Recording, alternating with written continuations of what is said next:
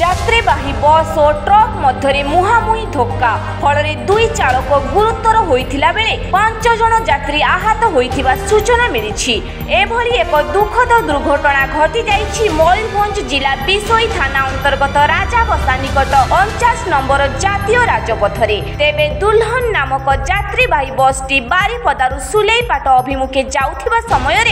রাজাবসা গ্রাম নিকট অচাশ নম্বর জাতীয় রাজপথে বিপরীত দিগর আস ଆସୁଥିବା ଏକ ଟ୍ରକ୍ ସହିତ ମୁହାଁମୁହିଁ ଧକ୍କା ହୋଇଥିଲା ଫଳରେ ବସ୍ର ଦୁଇ ଜଣ ଚାଳକ ସମେତ ପାଞ୍ଚ ଜଣ ଯାତ୍ରୀ ଆହତ ହୋଇଥିଲା ବେଳେ ବସ୍ ଡ୍ରାଇଭର ଦୀର୍ଘ ସମୟ ଧରି ଚାପି ହୋଇ ବସ୍ ଭିତରେ ରହିଯାଇଥିଲା ଏନେଇ ସ୍ଥାନୀୟ ଲୋକେ ଆମ୍ବୁଲାନ୍ସ କର୍ମଚାରୀ ଓ ପୋଲିସ ଦ୍ୱାରା ଉଦ୍ଧାର କାର୍ଯ୍ୟ ଜାରି ରହିଥିଲା ବେଳେ ବସ୍ ଡ୍ରାଇଭରକୁ ମଧ୍ୟ ଉଦ୍ଧାର କରାଯାଇ ରାଇରଙ୍ଗପୁର ଡାକ୍ତରଖାନାକୁ ପଠାଯାଇଥିବା ସୂଚନା ମିଳିଛି ଠାକୁର ମୁଣ୍ଡାରୁ ସଚିଦାନନ୍ଦ ପଲେଇ ଓ ନ୍ୟୁଜ୍